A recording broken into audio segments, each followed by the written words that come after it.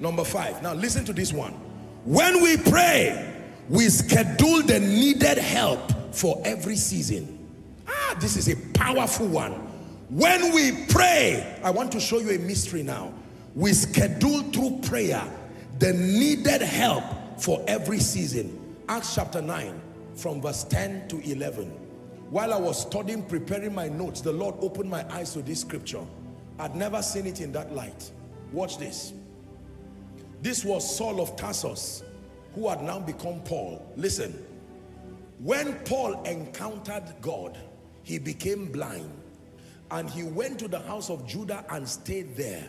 And the Bible says there was a certain disciple in Damascus named Ananias. Listen carefully. The Bible says, and to him said the Lord in a vision, Ananias, and he said, behold, I am here, Lord, verse 11.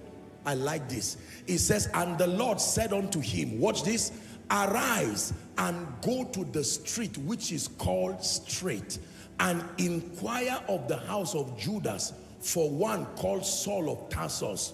Why will you go there as a helper? Read the last sentence. For behold, behold, he did not just go there. The man was blind. And he said, Lord, you asked me to preach the gospel. Being blind is unnecessary. But he was praying. And while he prayed, in response to his prayer, verse 12, watch what was happening. Now, unknown to Paul, his prayer was helping to negotiate something serious here. And the Bible says, while Paul prayed, he had seen in a vision. Who did he see? A man. There are times you see angels, but there are times you need to see a man. It was in the place of prayer that he saw help coming. He saw a man named Ananias coming in and putting his hand on him that he may receive his sight. And Ananias began to argue verse 13, I have heard of this man, the many things, how that he has done. Watch this, while that is happening, Paul was still praying. Do you know, watch this. Paul had seen Ananias coming in a vision, but physically, Ananias refused to go. And he was saying, God, I won't go. This man, I've heard of the things he has done.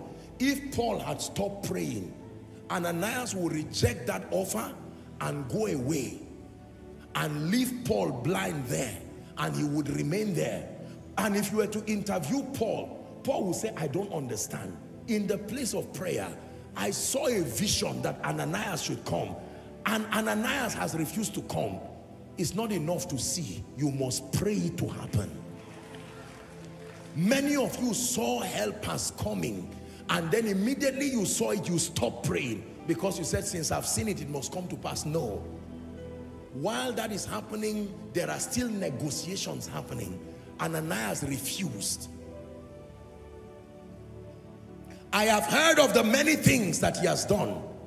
But the Lord said to him, verse 14, let's hurry. Go thy way, for he is a chosen vessel. Who gave Ananias this, the explanation? God. Who else would have given Ananias that explanation? Nobody. It was because God said he's a chosen vessel unto me to bear my name before the Gentiles. He said, oh really? I've changed my mindset. Can I tell you? There are some of you, the only person who can explain to your helpers is God. Because the kind of reports they have about you, about your family, about your business, it will be over their dead body to help you. At that point, you need to pray. Who is learning? You need to pray the presence of helpers and say, Lord, it is by yourself you will speak to men. I like what promise says here when it comes to take offering. He says, may God put it in the heart of men to help you. It sounds like a very simple prayer, but it's a very powerful prayer. A rich man will not help you because he's rich. He helps you because God puts your matter in his heart. Are we together? Yes. I remember many years ago, a pastor friend called me and humorously was saying, he said, Apostle, you have to pray for me. I traveled to America and someone saw me and he was he had discussed that he wanted to give a seat to Apostle. Can you imagine? And the man tried, tried, tried to make sure that he would bring the seed before my pastor friend would travel and package a very quality seed. and gave him. He said, please help me and give apostle. And when he came, he said, no, this is not fair. This man saw me, not day one, not day two. Are we together now? This man saw me, oh, he knows that I'm a man of God too. And he told me he would give a seed. And not even that, okay, he gave apostles and then he said, you're on for apostle and greet him that I've been blessed by his life. So when he came, he was very nice man. We are just talking and, and I was saying, well, he said, no, you have to pray that prayer for me. How can somebody give me a seat to come and give you? Oh,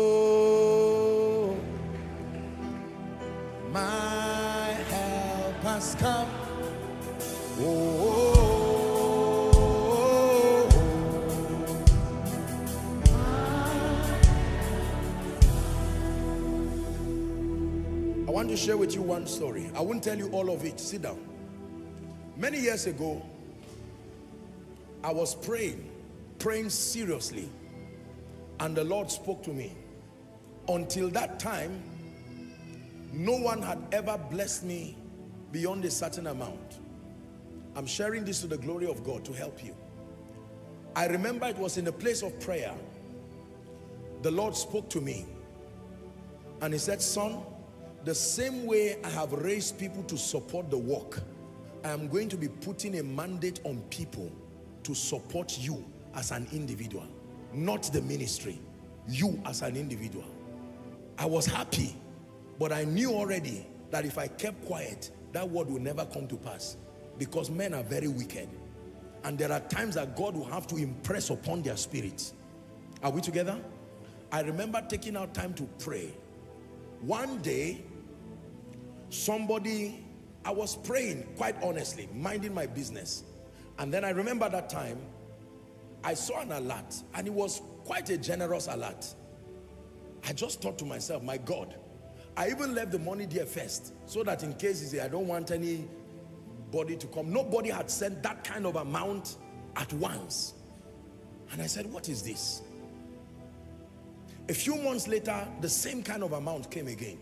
A few months later, the same kind of amount came again and then it stopped. And from that time, people will say, God has placed it upon my heart. I said, ah, this thing works so. It works. You don't pray alone. Huh? But you see, because we are in the business of priesthood, there is a provision to see that we serve God conveniently as we bless his people.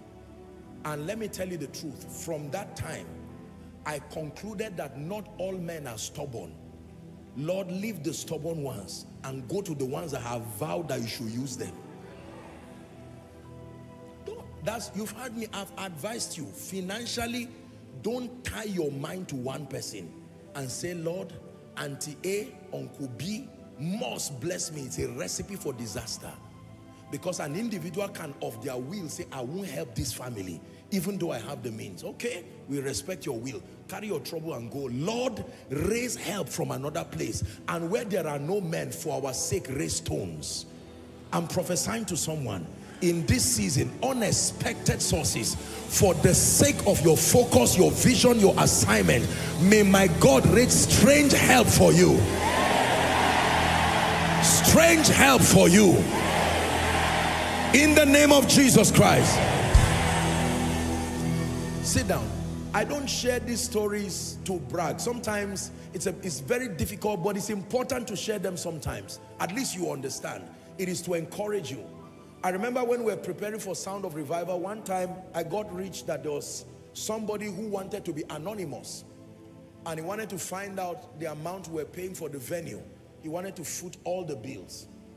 I said, no, you cannot pay. We've already paid the money for the venue even though it was very expensive, but we thank God for the honor of being able to do that. But how does somebody give that kind of amount, hundreds of thousands of dollars, and you want to be anonymous? No, we're a responsible ministry. I have to know who you are to tell you thank you. He said, no, the man said he wants to be anonymous. He just wants a way that even though we have paid, he still wants to give the money. Every helper has relatives who are begging and he will not give them. People don't come because they have. They come because their hearts are touched Are you learning? Nobody gives. Stop saying this man with all the money he has is not giving me. You are wasting your time. Go to the father of spirits in the place of prayer. Lord, every spirit is subject to your word, your name. Place it upon the heart of any man you choose. Raise help for me in this Abuja. I don't want to compromise. Raise help for me. You think God is not faithful to raise help for you? Except it's not the God of heaven. You can call for help in the place of prayer. No job, but pray. You are not lazy. Your CV is there. Now, I hear a lot of talk and sometimes, let me say this, sometimes um, we make mockery of prayer and I know what, those who say that, I know what they mean to say. You know, we make a lot of mockery on prayer. We say everything is not prayer, prayer, prayer, prayer. I understand that most people say that because of the fanatism that has driven the prayer ministry and the inefficiency that has come from using prayer as the only key. So I understand what they are trying to say. When it has to do with the economy, there is productivity, relationships, transformation, competence, value, understanding, exchange. These are valid principles. Nobody who wants to prosper and just praise alone, uh, you are not using the keys effectively. But another side again is there are people who have now said, no, no, no, no, forget about it. It's not about prayer. It's not true. It's not true. The Bible says in everything by prayer, everything is finance part of everything.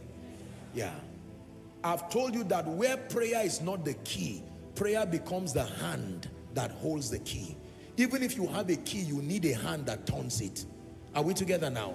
So I'm, I'm teaching you, I owe it to teach you. There are people who literally prayed their way to favor. Favor brought the resources, wisdom multiplied it. Are we together now? Don't sit down and you are under fire. There are some of you right now who, with all due respect, maybe you are owing millions of naira, tens of millions, hundreds of millions of naira. You think it's productivity that will take you out. Productivity will help you start again when you are free. What you need is prophecy. You need to cry unto God for help. Otherwise, you will die in that pit. Are we together? Alas, master, it was borrowed. The men were hardworking. The purpose of the axe was for them to cut a tree. They didn't ask God to cut the tree for them. But when the axe fell, it stopped because there was no ability to cut the tree again. And there was a miracle to restore the axe head. After it was restored, they now continued cutting. You do business when the capital is there. When the capital is not there, you are stunted. You need help. You need men. You need systems and structures to help you. Are we together now? There are many of us, the hardship around your life is a direct testament that there is no help. No help in ministry, no help in your home. Nobody has been concerned about your welfare nor that of your children. Are we together now? Don't waste your time selecting men by yourself. I have taught you this. Find a way of believing it. Don't waste your time trying to select men. Look unto Jesus and say, Father, you are the King of kings and the Lord of lords. I pray that you place it upon the heart of someone. Do you know, till today, I still pray for helpers. I still pray for helpers because I need helpers. The higher the assignment, the higher the help that is needed in every ramification.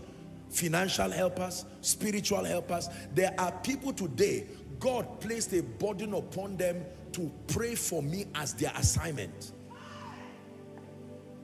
Are we together now? As an assignment, I'm not saying what you do occasionally, as their assignment. So when we talk of help, we're not just talking of, you cannot pray enough. Oh. God will raise people, raise intercessory groups. There are some of them, I don't even know them. But God has placed it as a burden. Pray for apostle. That is your assignment. Hmm. Say, Father, send help to my destiny. I want you to pray a minute from your heart and watch what God does. Say, Father, send help to my destiny. Pray that last one before I give you the last key. Please pray. Ah, send help. Lord, send help. I need help in ministry. I need help. over my finances, send help. Some of you, you may not need money, but there are other things you need. Very important things you need that make for life and godliness. Strategic connections, you need help. Access, you need help. Endorsements, you need help. The goodwill of strategic people, you need help.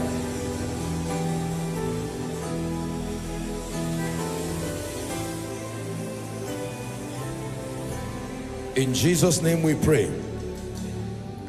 When we pray, we schedule the needed help for every season. Every assignment God gives Koinonia has a financial requirement. My own upkeep as his child and as his servant has a financial requirement. It is my responsibility to, in the place of prayer, call for the needed help. If you are too arrogant to call for help, then you will find out that it will look as if God sent you and left you alone. He says, when I sent you, lackest thou anything? Let me tell you the truth. I am convinced that for as long as I serve the Lord, I will not lack bread to eat. I'm not serving him because of bread, but for as long as I am on this assignment, I will not lack bread to eat. I'll love him whether there's bread or not, sincerely, but I will not lack bread to eat. And that does not just mean bread for myself. For everyone that I have a responsibility over, I will not lack bread to give. Are we together? This is my understanding with God. This is my agreement with God. That I love him more than bread.